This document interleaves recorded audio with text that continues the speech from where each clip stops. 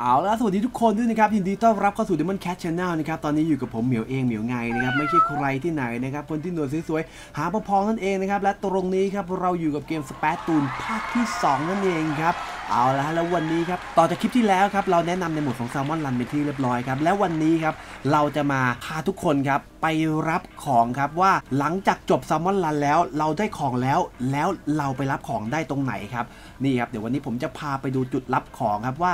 รับของได้ตรงไหนนะครับนี่ครับวิ่งเข้าไปครับผ่านป้ายนะครับผ่านตรงนี้ไปวิ่งไปทางซ้ายมือครับวิ่งขึ้นไปเรื่อยๆครับและซ้ายมือครับโอ้โหตัวนี้เท่ตัวนี้เท่มากเลยบอกไงละพ่อนม มองลายโอ้โหมองก็ไม่ได้เอาละครับแล้วตรงนี้ครับนี่แหละฮะนี่แหละครับตรงจุดตรงนี้ครับ Arc for a bonus ครับนี่คือจุดที่เอาไว้รับของจากหมวดซัมเมอร์รันที่เราเล่นจบไปนะครับนี่ฮะกดเข้าไปเมื่อกี้ผมได้อยู่ชิ้น 2 ชิ้นมั้งครับน่าจะเป็นลูกกลมๆสีส้มกับชุดนะครับอะเรากดเข้าไปดูนะฮะนี่ครับ 3 ชิ้นครับเป็นลูกสีเหลืองเสื้อผ้าหนึ่งตัว แล้วก็ไข่สีส้มอีกลูกหนึ่งนะครับนี่ครับกด A เพื่อรับโบนัสครับ นี่ครับ ได้เงินมาหน่วย10ร้อยพันนะครับ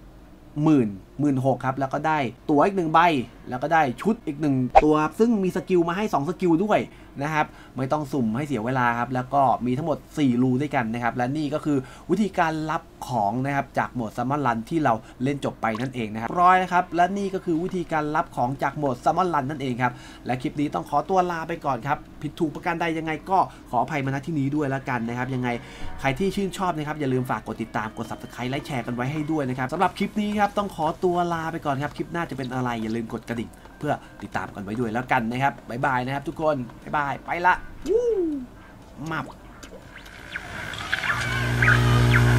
la la la la